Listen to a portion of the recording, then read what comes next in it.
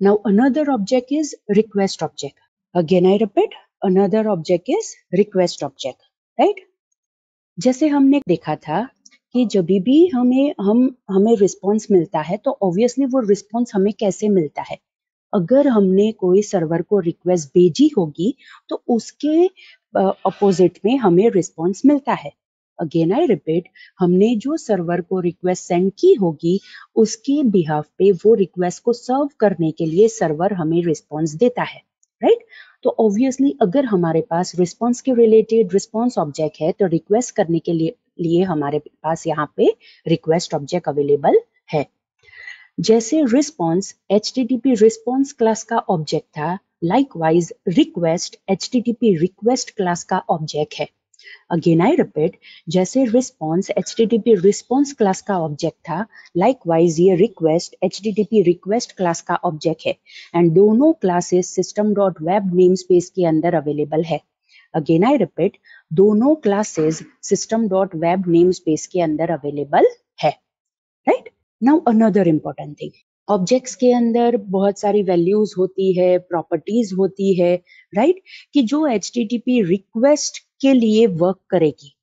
जब भी कोई भी पेज लोड होता है या फिर पेज लोड करने के लिए जो भी वैल्यूज़ प्रॉपर्टीज़ की ज़रूरत है, वो हमें ये एच रिक्वेस्ट क्लास का जो ऑब्जेक्ट है दैट इज़ रिक्वेस्ट ऑब्जेक्ट उसके साथ अवेलेबल रहेगी। राइट इसके अंदर हमारे पास यूआरएल के जो पैरामीटर्स होते हैं राइट वो भी होते हैं एंड अलोंग विद दैट दूसरी इंफॉर्मेशन भी होती है राइट right? कि जो क्लाइंट सेंड करता है। अगेन आई रिपीट ये रिक्वेस्ट है तो ऑब्वियसली रिक्वेस्ट कौन सेंड करेगा? क्लाइंट सेंड करेगा right so that's why it is specified over here कि जो भी इंफॉर्मेशन क्लाइंट सेंड करता है and along with that URL parameters की जो वैल्यू है, वो सारी इंफॉर्मेशन हमें रिक्वेस्ट ऑब्जेक्ट के अंदर मिलेगी। फॉर एग्ज़ाम्पल मैंने यू के अंदर यूज़र का नेम एम्बेड किया है तो वो इन्फॉर्मेशन भी मुझे ये रिक्वेस्ट ऑब्जेक्ट का यूज़ करके मैं रिट्राइव कर सकती हूँ। सो so, ऑब्वियस बात है कि अगर हम इतने सारे टास्क कर सकते हैं with the help of request object तो उसके रिलेटेड हमारे पास यहाँ पे कलेक्शंस होंगे प्रॉपर्टीज़ होगी एंड मेथड्स होगी right so first of all we will start with collections के रिक्वेस्ट ऑब्जेक्ट के अंदर हमारे पास कौन कौन से कलेक्शंस अवेलेबल है right so the first collection is cookies collection अगर हमें कोई भी कुकीज की वैल्यूज़ को रिक्वेस्ट करना है तो हम ये कुकीज कलेक्शन का यूज़ कर सकते हैं बिकॉज़ ये कुकीज कलेक्शन के अंदर सारी कुकीज की वैल्यू प्रेजेंट होगी राइट अगेन आई रिपीट सारी कुकीज की वैल्यू हम इसके अंदर इसके अंदर जो होगी, वो हमें मिल सकती है। अगर आपको याद हो तो हमने रिस्पॉन्स ऑब्जेक्ट में भी कुकीज कलेक्शन देखा right now what is that thing अगर हम रिक्वेस्ट करते हैं तो रिक्वेस्ट में कब मिलेगा? जब वो प्रेजेंट होगा तो तो ऑब्वियसली रिस्पॉन्स ऑब्जेक्ट के अंदर भी हमें कुकीज का कलेक्शन मिलेगा right so that is the thing कि कुकीज कलेक्शन दोनों ऑब्जेक्ट के अंदर प्रेजेंट है। Now another collection is form collection now the thing is that students कि जब भी हम फॉर्म के ऊपर इनपुट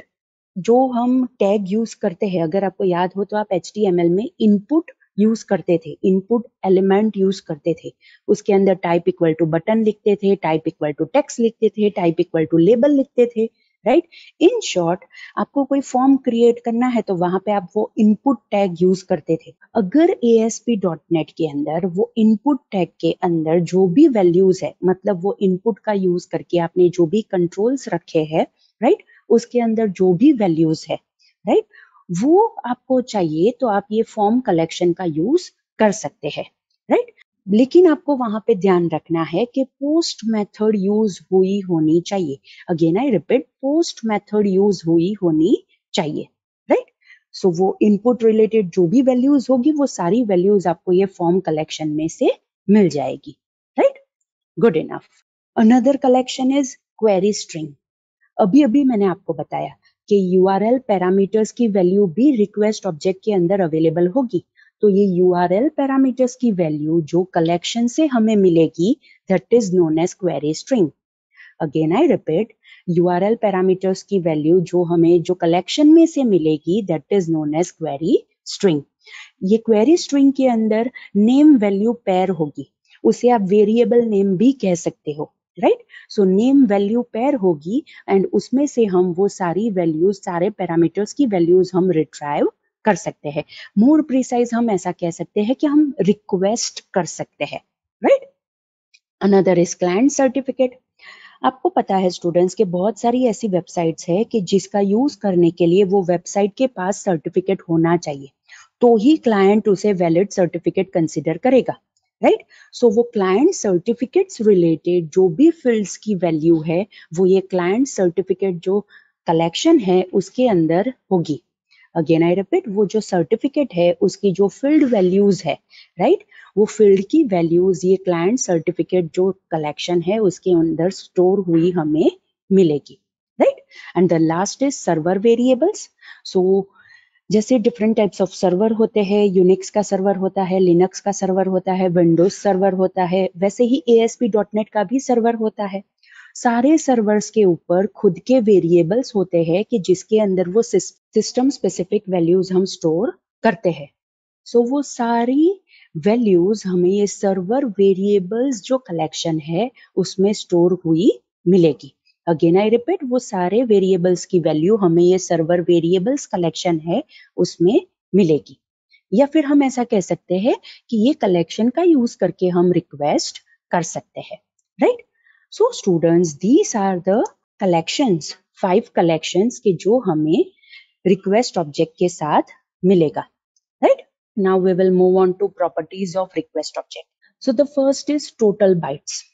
Total bytes मतलब क्या? ये क्या रिटर्न करेगा? More precise total number of bytes right कि जो क्लाइंट ने सेंड की है right again I repeat client ने सेंड की है in the body of the request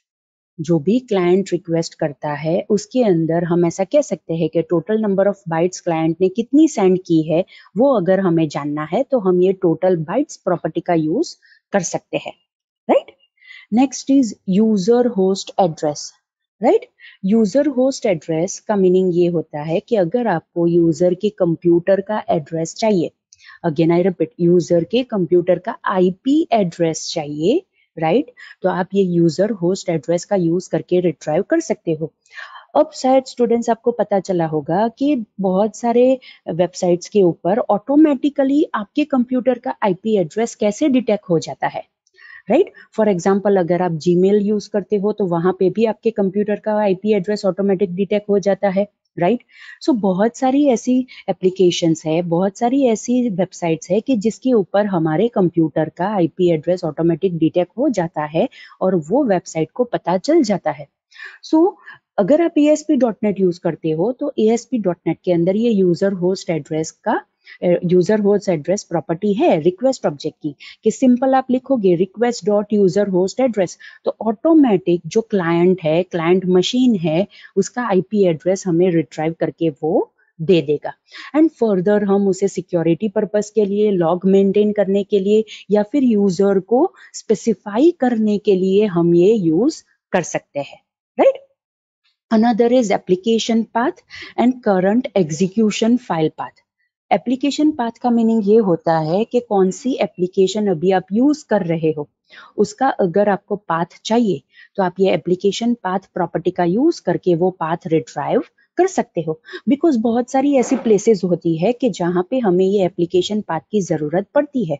for example अगर मुझे कोई रिसोर्स पर्टिकुलर फोल्डर में से रिट्राइव करना है, जो मेरे एप्लीकेशन के अंदर अवेलेबल है तो वहाँ पे मुझे पूरा एप्लीकेशन पाथ टाइप करने की ज़रूरत नहीं है। मैं ये एप्लीकेशन पाथ प्रॉपर्टी को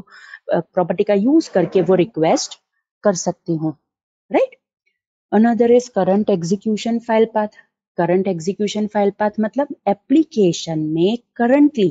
कौन सी फ़ाइल एग्जीक्यूट हो रही है? फॉर एग्ज़ाम्पल कल हमने वेबसाइट क्रिएट की थी दैट इज़ फ़र्स्ट वेबसाइट ई उसके अंदर हमने पेज क्रिएट किया था that is default dot A S P X आप एज्यूम करो कि हमारे पास वही एप्लीकेशन के अंदर दैट इज़ वही वेबसाइट के अंदर दूसरा पेज भी है। तो मे बी पॉसिबल कि करंटली हम सिर्फ़ ये default dot A S P X page को एग्जीक्यूट कर रहे हैं राइट तो वहाँ पे मुझे जानना है कि उसका पाथ क्या है तो मैं ये current execution file path property का यूज़ कर सकती हूँ right good now another property is that simple file path अभी तक हमने देखा that is application path current execution file path अब जो प्रॉपर्टी है that is file path file path property हमें वो फ़ाइल का पाथ रिटर्न करेगी कि जिसके ऊपर करंटली हम वर्क कर रहे हैं। अगेन आई रिपीट जिसके ऊपर करंटली हम वर्क कर रहे हैं।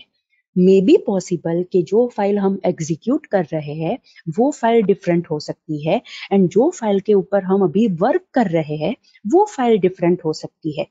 तो दोनों जगह पे हमें डिफरेंट फ़ाइल पाथ मिलेंगे। और अगर मुझे करंटली वर्किंग में जो मतलब फ़ाइल के ऊपर वर्क कर रही हूँ, उसका पाथ चाहिए तो मैं फ़ाइल पाथ प्रॉपर्टी से वो रिक्वेस्ट कर सकती हूँ right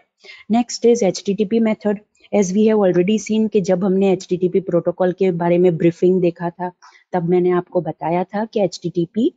प्रोटोकॉल के अंदर बहुत सारी मेथड्स अवेलेबल है। And if I want to know कि अभी करंटली कौन सी मेथड यूज़ हो रही है राइट right? तो ये H T T P method property का यूज़ करके वो मैं रिक्वेस्ट कर सकती हूँ। नेक्स्ट अगर मुझे जानना है कि यूज़र का करंट ब्राउज़र क्या है बिकॉज़ जैसे हमने देखा था कि हम ब्राउज़र के अकॉर्डिंग हम हमारा एच पेज रेंडर कर सकते हैं। तो अगर आई ब्राउज़र है तो मुझे डिफरेंट पेज मतलब डिफरेंट टैग के हिसाब से पेज रेंडर करना है। क्रोम है ओपेरा है right so it may be possible के डिफरेंट ब्राउज़र के अकॉर्डिंग हमें डिफरेंट वे में पेज रेंडर करना है। तो मुझे पता तो होना चाहिए ना कि क्लाइंट का ब्राउज़र कौन सा है राइट तो वो रिक्वेस्ट करने के लिए मैं ये ब्राउज़र प्रॉपर्टी का यूज़ कर सकती हूँ। And the last property within request object is user agent अगर मुझे यूज़र के कंप्यूटर की सारी इंफॉर्मेशन चाहिए कि कौन सी ऑपरेटिंग सिस्टम है, वो क्या यूज़ कर रहा है तो मैं ये यूज़र एजेंट प्रॉपर्टी का यूज़ करके रिक्वेस्ट कर सकती हूँ। इन शॉर्ट स्टूडेंट्स हम ऐसा कह सकते हैं आईपी एड्रेस से लेके हम यूज़र के कंप्यूटर की इंफॉर्मेशन ईच एंड एवरीथिंग हम जान सकते हैं by simple properties which are available in request object right so students these are the properties of request object right कि जो इसका यूज़ करके आप बहुत सारी डिफरेंट इंफॉर्मेशन रिक्वेस्ट कर सकते हो right now the last thing within request object is methods of request object right so first method is binary read right as the name से हमने रिस्पॉन्स ऑब्जेक्ट में देखा था बाइनरी राइट तो अगर ये रिक्वेस्ट ऑब्जेक्ट है तो हम यहाँ पे यूज़ करेंगे दैट इज़ बाइनरी रीड अब ये बाइनरी रीड का यूज़ करके हम क्या रिट्राइव कर सकते हैं? ऑब्वियसली अगर हमें जो भी डेटा सर्वर को सेंड हुए हैं right again I repeat client machine से जो भी डेटा सर्वर को सेंड हुए हैं with the help of post request right तो वो सारे डेटा अगर हमें रिट्राइव करने हैं तो हम ये बाइनरी रीड मेथड का यूज़ कर सकते हैं। एंड ऑब्वियसली वो सारे जो भी इंफॉर्मेशन होगी, सारी वैल्यूज़ होगी, वो एरे के टर्म्स में हमें मिल जाएगी right so that is the important thing कि जो भी डेटा क्लाइंट से सर्वर के ऊपर जाते हैं राइट right? वो डेटा अगर हमें रिट्राइव करने हैं राइट right? तो हम यहाँ पे बाइनरी रीड मेथड का यूज़ कर सकते हैं अगर आपको याद हो तो बाइनरी राइट में भी पोस्ट मेथड का वहाँ पे स्पेसिफाई किया था तो यहाँ पे भी आपको ध्यान रखना है कि पोस्ट रिक्वेस्ट ही होनी चाहिए right now the most important method that is map path again I repeat most important method is map path ये map path method server object के साथ भी आपको मिलेगी। अगेन आई रिपीट ये मैप पाथ मेथड आपको सर्वर ऑब्जेक्ट के साथ भी मिलेगी right okay